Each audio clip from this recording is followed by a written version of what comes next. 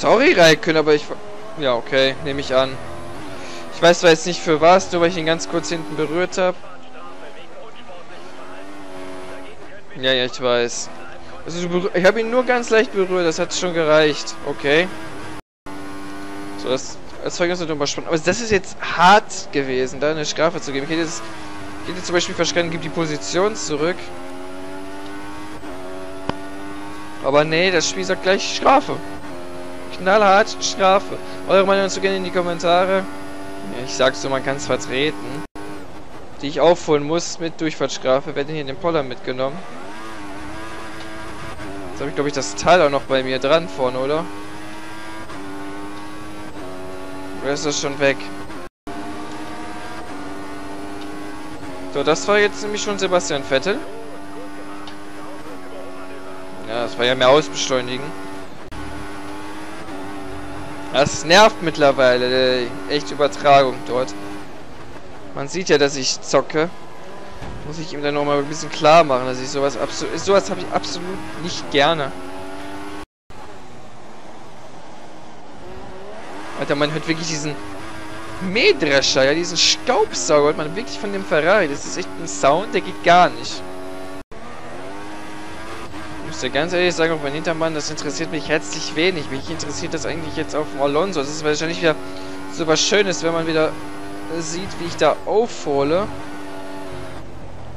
Von vielen habe ich leider gehört, dass das immer nicht so sehr möglich ist, aufzuholen, wenn die KI vor einem ist. Wahrscheinlich rede ich jetzt weniger über Themen, weil ich jetzt natürlich auch das Auto am Limit fahren muss. Was halt am Anfang des Rennens einfach nicht der Fall war. Warten jetzt erst über Scott und Ziel und Hamilton noch... Oh Gott, ich bin auch noch mal weit weg. Über Hamilton brauche ich mir jetzt auch keine Gedanken mehr machen. Warum schalte ich in den ersten Gang runter? Maldonado. Also jetzt schreiben mir aber ganz viele ein hier, kurz vor sieben. Der nächste hat ein Problem, dann will der noch was von mir. Und morgen will bestimmt noch der Osterhase was von mir. Ich will, ich habe RTS bekommen.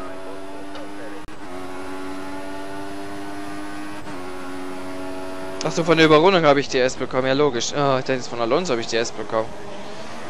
Ja, aber Alonso hat auch DS bekommen. Rosberg mittlerweile mit 10 Sekunden Rückstand. Mit Durchfahrtsstrafe, wohlgemerkt. Und vorbei. Auf dieser schönen Geraden. Vorbeigezogen.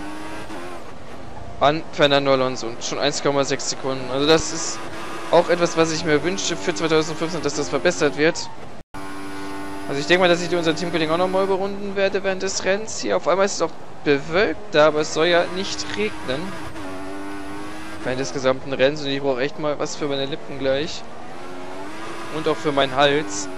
Momentan die Grippewelle unterwegs. Mich hat sie schon erwischt. Ich will sie hoffentlich nicht normal erwischen.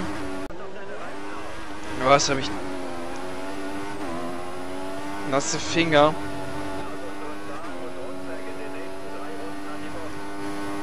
Und ein nasses Lenkrad. Oh, das ist das Schlimmste eigentlich, wenn du merkst, hier ist es ganz kurz nass, dann passieren nämlich genau solche Fehler.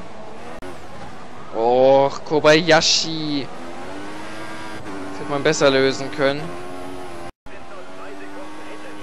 Ich gebe da schon Gas. Sieht man das nicht? Ich gebe schon während des gesamten Rennens hier nur noch Vollgas. Und das nächste Kindergartenüberholmanöver mit zu später Bremse. Ja, aber Rosberg, der kommt, der ist Kilometer weit weg. Okay.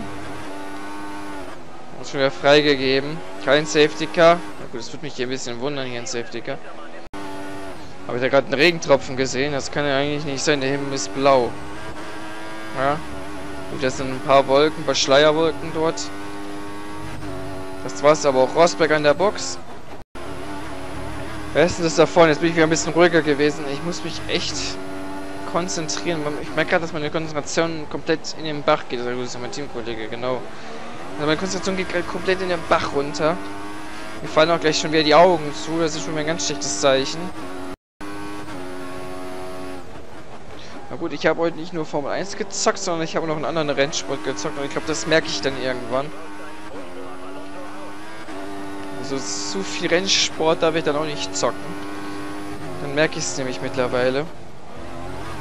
Mit dem Alter dann nämlich auch. 24, ne? Wenn ich mir das mit dem Sprit hier angucke. Also hier scheiden zum Beispiel vier Fahrzeuge aus. Das ist auch so ein Kritikpunkt. Hier scheiden vier Fahrzeuge aus.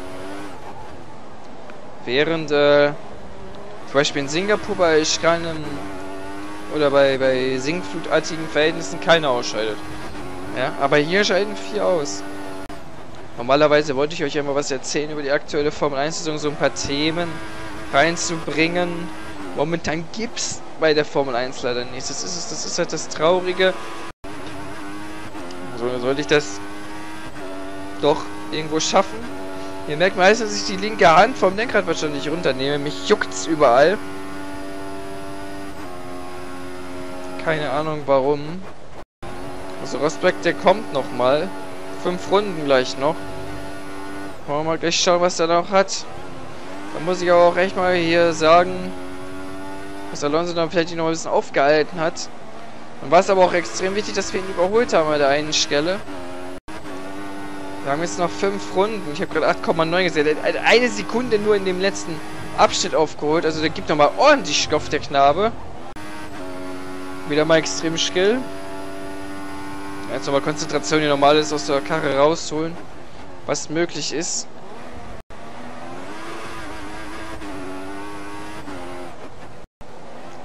Hab ich in der Mücke gestochen im Winter oder was? Das ist echt nicht gerade schön. Ja, Schnupfen habe ich nicht, Husten habe ich auch nicht, gar nichts mehr. Trotzdem, das ist so extrem gerade. Mal schauen, 6,8 zu 6,1.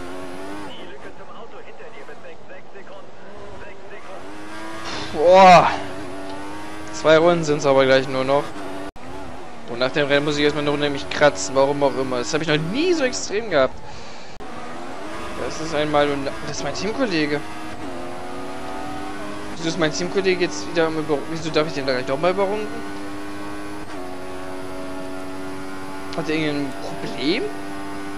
Ein Defekt? Ja, ein Bremsdefekt. Position 15. Okay, dann bin ich der Einzige, der mal der punktet. Wir sind Weltmeister.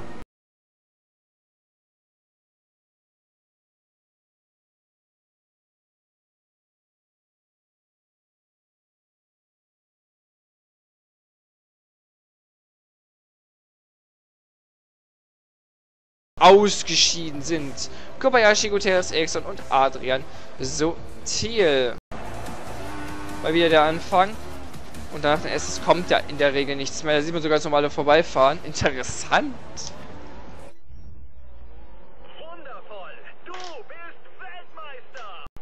Da gibt es nichts hinzuzufügen. Ich glaube, in Position um Position 3 geht's, wird es nochmal spannend zwischen Rosberg und Vettel. Es soll stark bewölkt sein im Training, starker Regen im Qualifying und stark bewölkt im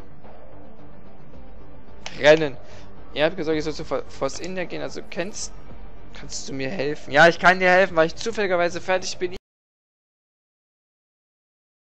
Die besten Bedingungen, wir haben stark bewölkt am Training, starker Regen im Qualifying, das könnte unterhaltsam werden auch dann fürs Rennen mit stark bewölkt. Also es könnte hier durchaus regnen. Okay, 0%, okay und 0%. Ich bin froh, dass es so bleibt. Jetzt erstmal diesen, das Ziel, Forschung und Entwicklung. Fahre drei aufeinander folgende Runden mit abgenutzten Reifen. Du musst unter der vorgegebenen Zeit bleiben, um diesen Test erfolgreich zu absolvieren. Zielzeit gesamt 1,20, 1,46. Verbessert das Einsprechverhalten der Bremsen um 5%. Sollte also kein Problem sein. Wir werden das kurz und knackig wieder machen dass wir ins Kies fahren? Okay. Das Problem hatten wir schon mal, oder diesen Bug hatten wir schon mal, dass, das, dass er überhaupt nicht meint zu lenken. Ich verstehe nicht, warum wir hier auf Fett fahren sollen. Das macht nämlich gar keinen Sinn. Äh, wenn ich mir das mal so nachdenke. Ich weiß auch nicht, dass ich hier gerade so ein bisschen nicht schön sitze oder so ein bisschen ungewohnt sitze. Zwei Rennen erwarten uns noch. Ich habe ja noch ein bisschen gesagt im letzten Rennen dass ich nur so ein paar Fall reingehen möchte. Das hat sich natürlich jetzt komplett über den Haufen geworfen, weil ich neun Fragen mehr wieder geschickt bekommen habe. Momentan ist auch so eine schleppende Woche bei mir. Wenig Lust zum Aufnehmen, das gibt es auch. Ja, bei mir. Gut, die neue Boxreste gibt es hier noch nicht. Und den Bug kennen wir schon. Das ist äh, weltbewegend. Ich finde das echt immer faszinierend. Äh, wie sowas funktioniert Codemasters.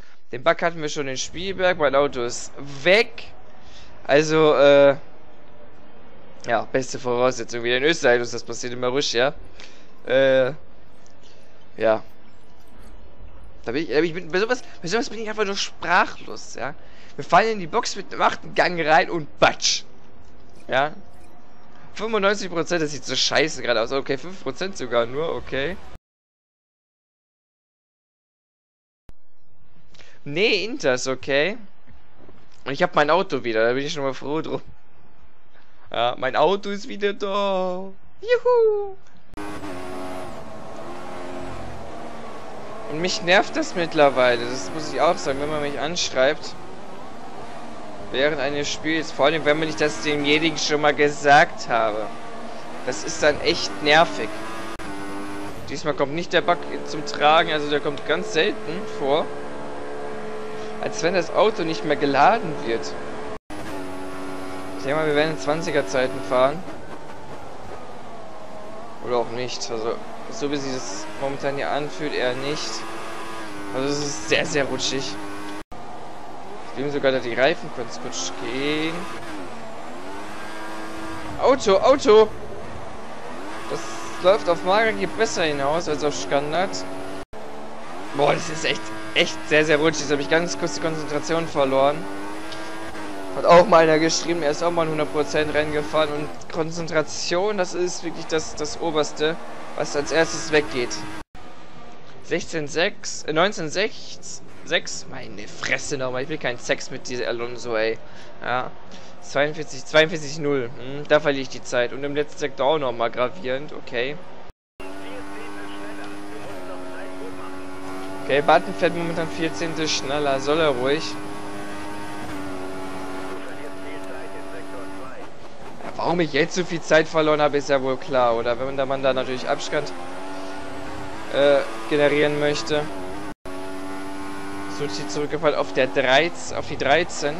Auf der 13 ist jetzt, auf die 13. Warum ich würde jetzt sagen, jetzt wird die Datei wenigstens kleiner. Ja, ist so. so wenn es wirklich dunkel ist, wird die Datei echt kleiner. Die man dann hochladen muss. Dann sind wir schon mal 9. Sektor 2, das ist mein, mein Sektor, wo ich eigentlich im Ligarennen so viel Zeit herausgefahren habe. Der wird mir hier zum Verhängnis. Ja, die Runde können wir abhaken. Da steht aber auch richtig noch schön im Weg. Also, neunter Platz. Versucht das abzuscannen. Ja, die Runde können wir ja auch schon wieder vergessen. Aus dem ganz einfachen Grund, der erste Sektor wird zu schwach sein. Da waren wir ein bisschen zu spät schon auf der Bremse. Was laberst du für einen Scheiß? Ganz ehrlich, das ist auch so ein kleiner Bug, den man hier ein bisschen mitgeschliffen hat. Wo er neu entwickelt hat, besser gesagt. Den gab es nämlich in 2013 noch nicht. Also es geht noch eine Runde. Und der warnt mich jetzt schon mit dem Benzin, wo das Auto immer noch perfekt reagiert.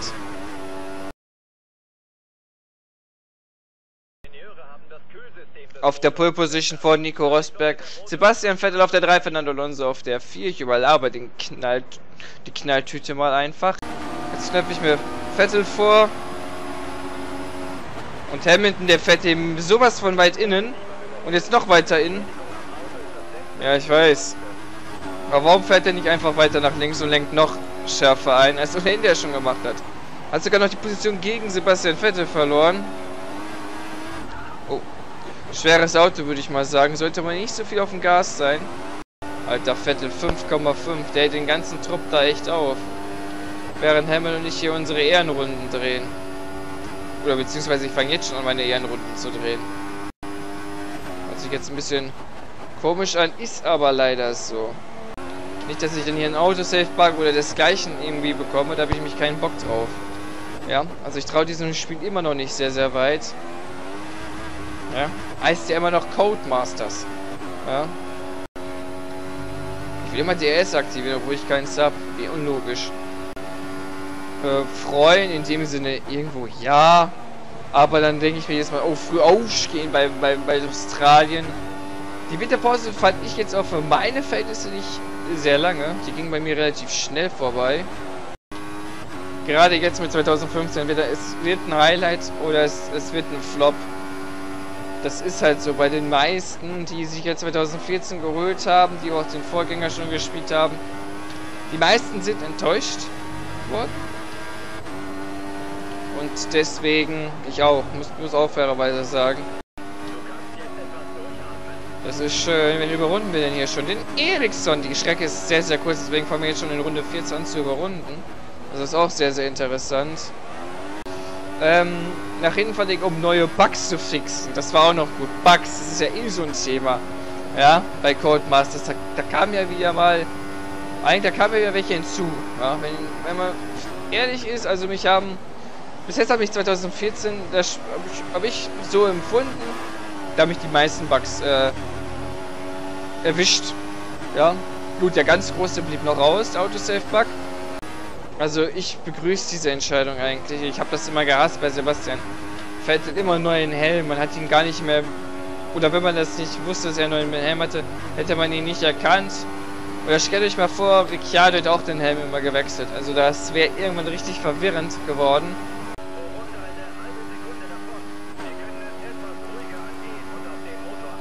Warum soll ich auf den Motor achten? Wir haben eh nur noch ein Rennen danach. Das werden wir auch wahrscheinlich auch nochmal mit dem Motor hier bestreiten. In Abu Dhabi. Und dann ist die Saison eh vorbei. Baumi sieht das ja genauso mit äh, Facecam. Bra Wofür? Wofür? Schau, ich schau mir... Ich, muss, ich bin da ehrlich, ich schaue mir kein Let's Play an. Deswegen kommen wir nochmal auf diese schöne Frage zurück. Ich schaue mir kein, äh, kein Let's Player an, der sich in den Vordergrund stellt muss ich fairerweise sagen, anstatt ein Spiel Mainstream aller Minecraft oder GTA schaue ich mir auch persönlich nicht mal an. Ja, was denn für ein Verkehr? Oh Gott, schweres Auto und ich komme nicht mehr um die Kurven. Ne, wir behalten die Führung. Und damit hätte ich eigentlich die Fragen schon abgearbeitet, aber ich habe ja noch gesagt, ich möchte noch mal auf ein paar Fahrer eingehen ähm, ich weiß jetzt leider nicht mehr, welche das waren. Das habe ich mir echt vergessen aufzuschreiben. Kann ich leider nicht beantworten. Ist die, die Sonne kommt so langsam ein bisschen raus. Spricht wirklich dafür, dass es hier nicht regnen soll. Und die Speed 4 spricht auch nicht für die KI. 18,7 18 Sekunden, das sind 36 auf Vettel. Wenn wir das jetzt mal auf die Rundenzeiten betrachten, dann ist das enorm. Dann ist es mehr als eine Sekunde, die ich ihm äh, schneller fahre. Oh, das war jetzt nicht so gut. Das hat Zeit gekostet, hat ich gerade gewonnen. Alter Perez, warum mitten auf der Ideallinie? Und warum auf der 15 nur? Das ist meine nächste Frage. Also Brasilien ist auch nicht gerade eines der langsamsten Rennen. 1.14.9, jetzt habe ich mal die 15er Zeit geknackt. Okay. Und dann habe ich schon insgesamt, ich glaube, 13 komplette Saisons durchgezockt auf 100%. In drei Jahren. Das ist, das ist krass. Ja, also ich finde es zumindest krass. Also Videomaterial, das ist ja unvorstellbar. Und der ganz große Erfolg ist ein bisschen natürlich auch ausgeblieben. Ja, ja, Button, wo soll ich hier auch überrunden? Also du bist ein Honk. Also ein richtiger Honk. Ja, da werden sich die Teamkollegen nicht einig. Katastrophe. Eine absolute Katastrophe. Schon, ich bin gespannt, wen ich hier noch alles überrunde. Ja, also ich habe eigentlich noch was, eine offene Rechnung mit dem Hamilton in Ungarn falls ihr euch daran erinnern könnt. Ungarn ist die KI wirklich top. Also Ungarn ist wirklich top. Es ist ja, würde ich es auch noch in China als top bezeichnen. Und das war's dann eigentlich auch schon.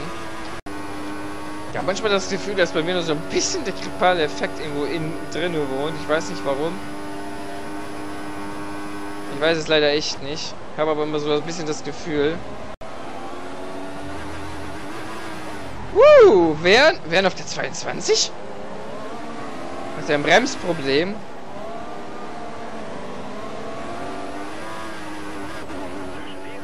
Boah, der, der lässt aber ganz beschissen vorbei. Ja, um das mal ganz kurz zu betonen. Der Button hat ja richtig verloren. Uh, Bottas! Nur weil du von mir auch blaue Flaggen bekommen, das heißt lange nicht, dass du auf den Ericsson jetzt so lange warten musst. Oder sie euch beide gleichzeitig in der gleichen Kurve überhol überholen soll. Das darf man halt auch nicht vergessen. Ich suche mir gleich irgendeine schnelle Flasche, Getränk, irgendwas, damit ich weiter erzählen kann. Und ja, 50 Sekunden auf Alonso, den sechstplatzierten haben wir schon überrundet. Das ist ja äh, Hülkenberg gewesen und da sehe ich den nächsten Red Bull.